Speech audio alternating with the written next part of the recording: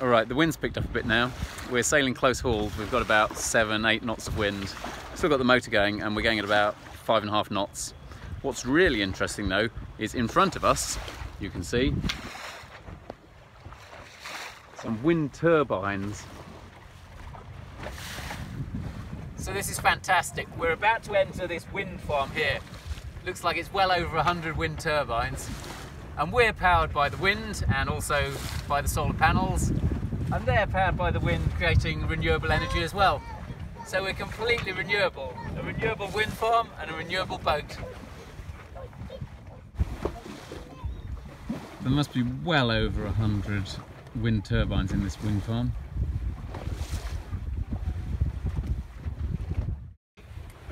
We're in the middle of the wind farm now and I don't know if you can get a sense of the scale of this but these are absolutely massive. They're probably about 10 times as high as this boat.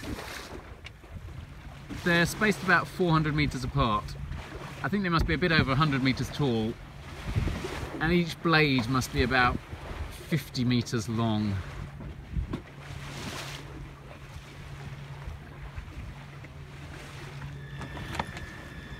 There's the wind turbine generating electricity and there's our motor using solar generated electricity to power us along.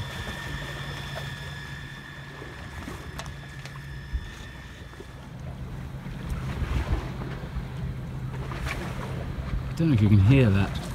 It's actually making a bit of a noise. So we're just leaving the wind farm now. And what I didn't realise was how many boats you have servicing these windmills. So we have over here a couple of boats near that. And there's another boat there that's just left that windmill. There's another boat tucked in there. Another boat just leaving servicing that windmill. And there's another boat over here that's scooting towards the mainland.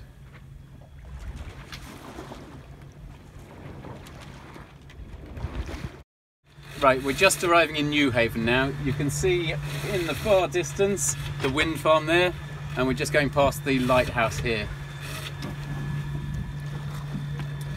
We've used up quite a lot of the batteries now, the sun's quite low, so we're actually down at 11.9 and 12.1 volts. But then, as soon as we stop, those will start charging up from the solar panels as well, from the light that's left from the sun.